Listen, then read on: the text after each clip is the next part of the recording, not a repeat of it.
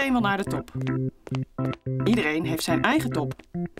Bergtop, Europatop, voetbaltop. De toppers, eenmaal op de top. Best wel saai. Dus, nieuwe top. Wat is een reis zonder top? Niet echt leuk. En een top zonder reis? Wel leuk.